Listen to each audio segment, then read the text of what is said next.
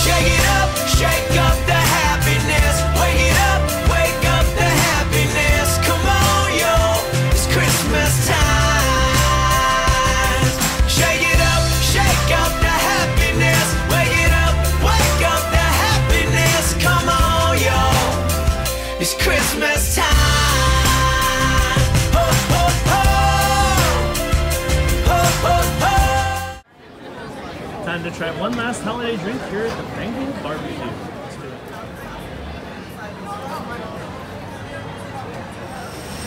It's a little melty because I had to wander all the way to Tomorrowland from Adventureland, but this is the Jingle Julep.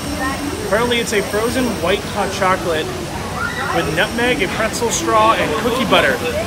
Sounds delicious. Let's try it. Bottoms up.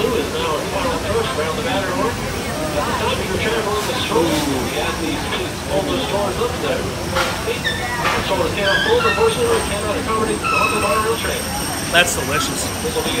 Um, very milky, very like tastes like a nice sweet regular milk.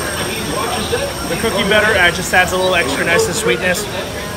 I honestly feel if this had like some horchata or something in it, or uh, maybe a little uh, amaretto, this would be like the perfect drink. It's really, really good, very festive, very delicious.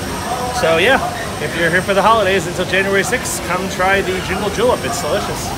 That's it for this Taste Test adventure. Hope you enjoyed it. See you next time.